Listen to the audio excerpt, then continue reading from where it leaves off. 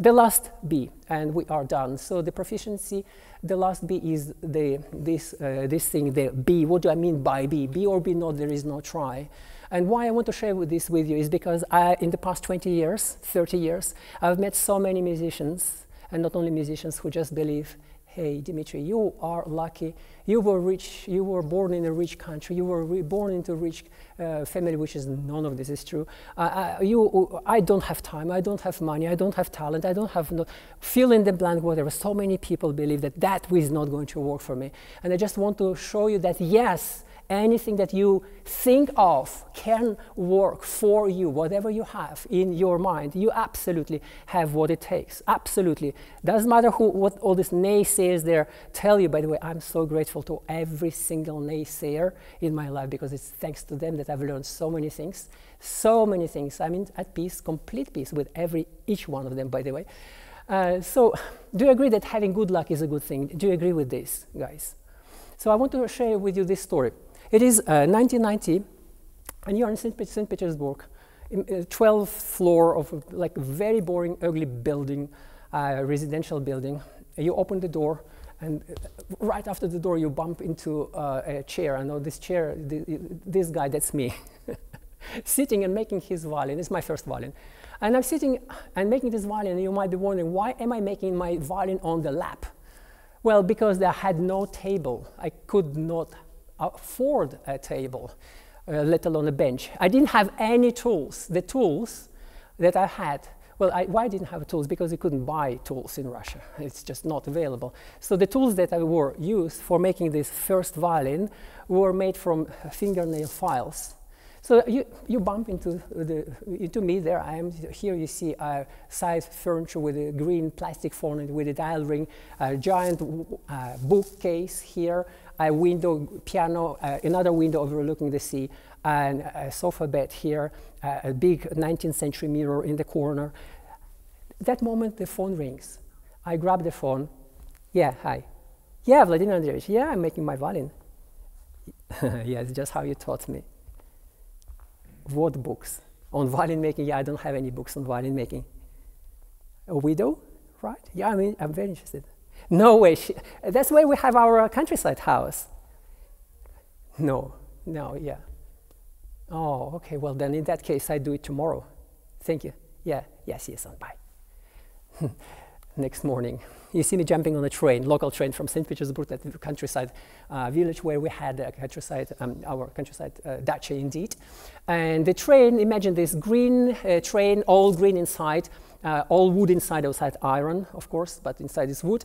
And the train is going by with the speed of 12 maximum 20 kilometers per hour. The windows are opened. It's, it's uh, September. It's sunny. It's after rain. It smells pines and fallen leaves and mushrooms. It's amazing, and you can stretch your arm out of the window of the train, and then like a handshake with the birches growing by the rail. Amazing. An hour later, we arrive at exactly this station. Then just a very short walk, and we are in this uh, countryside house, and it's it, it's like very old, very abandoned. And once upon a time, it was blue, yellow, green. Now it was kind of uh, greenish color. So we enter, it's a glass veranda. You turn to your left, and you're inside a very black, dark black room, all wood, very, very old. And um, you see chests and boxes everywhere, and there is a bright light, sunlight, like bursting through the window. And in that sunlight, you see a very old woman. And what's striking, this woman has so long and so bright and so perfectly combed silver gray hair. It was like a wow. Uh, uh, the moment I enter, she, she explodes like, "Oh, Dima, I have welcome, welcome. I have heard so many good things about you. Take a seat, take a seat. Let's have a chat." So I sit next to her, and then she chats like somebody who didn't chat for 50 years. You know, Dima, I'm, I started to begin myself a little bit old. I'm 92. That's why I decided to move uh, to live with my grandchildren. I'm thinking, God gracious, she's 92 and she just started to feel a little bit old. I, wish I can be like her when I'm 92. And then she shares a story after story of Prokofiev and Mravinsky and Rostropovich and Shostakovich and all these people coming to her uh, apartment in St. Petersburg where she, she lived um, Isabella Yakovlevna Ortsi, and her husband was Bela Ortsi, a violin maker in Leningrad, uh, which was called Leningrad back then. And um, uh, so, and finally she asked, okay, Dima, you wanted to see the books? Yeah, yeah, of course I want to see the books. So she shows me the, those books. Collector's items, you cannot find those books. They are completely out of print, very expensive. I've spent everything I had, all my savings that I've got also from my mother as a gift. So I just spent all this money on those books. And then she asked me, Dima, would you like to see toys, uh, tools? I said, you have tools? Yeah, I have plenty of tools for violin making from my husband. I'm not going to take them with me thousands of kilometers over here. So I would like to uh, sell them. Yeah, I would love to see them. She uh, gets up from her chair. Okay, come. Yeah, it's here. Uh, and yeah, have a look here as well. And yeah, here, yeah, have a look. And then I see those tools.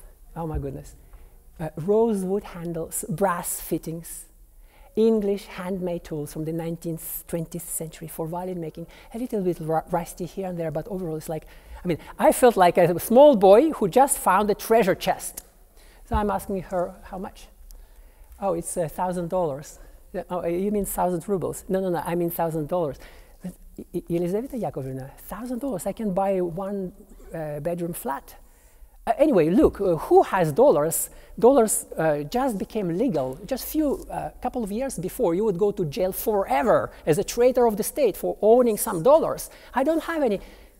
Dimitri, no, I'm sorry, it's thousand dollars. I go back home, and there I am. I, I be, uh, bump into my family. I'm very grumpy and I'm very upset. And Dimitri, what's up? What's wrong with you? You bought these books and you're not happy. Uh, yeah, I, I, bought the books. I'm happy for this. But she's also telling, uh, selling tools. But she wants uh, uh, this, this money. What? Forget about it. She lost her mind. You can buy one bedroom flat in St. Petersburg for this money. I know, I know, but I want to make. I want to become a violin maker. I forget about this. I, I want to borrow this money. So, what? Borrow? You are crazy. You will never be able to pay back this debt. You will go to jail. They will kill you. Stop it. And while these very, very good, good people, they are very good people, very loving, very caring, and they're trying to talk me out of this deal, I'm thinking in my mind, what can I do? She is moving in three days. What can I do to make my dream come true? And this is when I go back to this green phone and I pick it up and I start dialing. Hi, Victor a very dear friend of mine. He's the founder of the first uh, early music ensemble in St. Petersburg, who, the guy because, because of whom I became so passionate about uh, early music. Victor, can you help me with some dollars? Really? Great. How much can you give me? 10. Great. I will come tomorrow morning. Uh, I, I will explain you later. Can you, do, do you know anyone who, uh, who can uh, help me with uh, some money? Oh, yeah, sure. Yeah. Can I get the phone numbers? Thank you.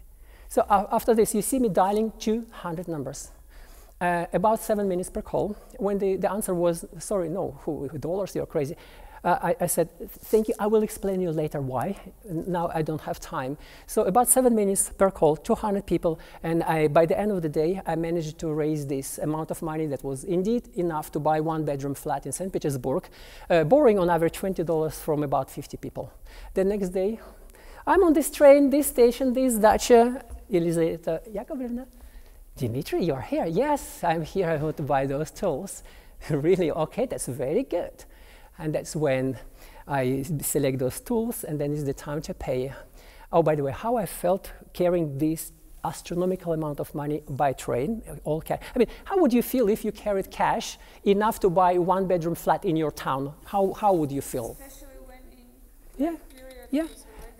yeah, so that's how I felt. And that's when I, I start counting those green notes, and I have never seen so much money in my entire life. And that's when my hands go cold. I start to, uh, uh, uh it's about, uh, I was nine, 21. And how old were you then? Uh, 21. So I, I will ask answer uh, questions later, and um, and then I start counting those banknotes, and my hands go cold and uh, sweaty, and I and this voice in my mind: "You are done, idiot." Stop it. You will never pay back this debt. Stop this egoism. You will take all your family to jail. Just stop it. It's so loud, so noisy, this voice, and then there is this other very gentle voice. Dimitri, universe is trying to give you a helping hand. This is your dream. What are you waiting for? Do it. I've done it. I came back home. My family went nuts. However, what happened next is uh, this story somehow uh, went viral. Have you heard this crazy guy? Uh, bought a few chests of rusty tools. Uh, as a result, I got so much work, restoration, uh, gradually then repair. So it, to make this short, uh, long story uh, short, uh, less than 12 months later, I've earned back all this money. I paid back my debt, and not only that, I've saved enough money so that I could um, finance my relocation to Europe in 1994 and to really make my dream come true. And look, I could have listened to this, all these good people. Be reasonable, don't be egoist, stay where you are. And I could have chosen fear, but I have chosen faith. I have chosen my dream. And if I haven't, there would be nothing. There would be no lecture today. There would be no Violoncello Spalla. There would be no old master stones technique, this uh, um, the two millennia old uh, culture that I've revived, um, that in, in, enabled uh, the craftsmen of the past create their instruments a certain way. There would be no this amazing wife and this amazing kid, and this amazing life that we have today. This is, this is the reason why I want to share with you uh, shared with you this be, be, be or be not, there is no try. I want you to remember this. You can always choose your internal power to decide you can achieve your goals rather than external limitations such as lack of time, money, or skills. Are you getting this? Yes or no? And with this, I want to leave you guys. Thank you very much.